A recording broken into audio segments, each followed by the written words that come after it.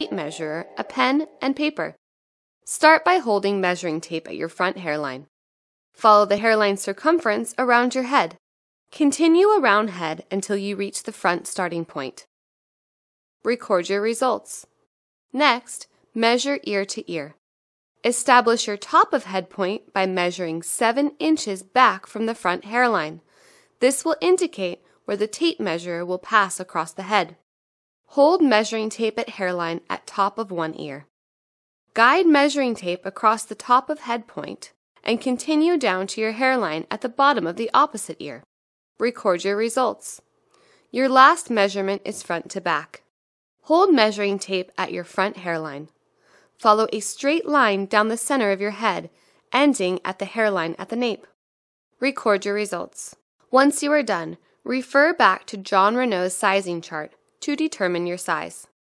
If your three measurements are not exactly matched to any one of the standard sizes, choose the wig size that is indicated by the largest measurement.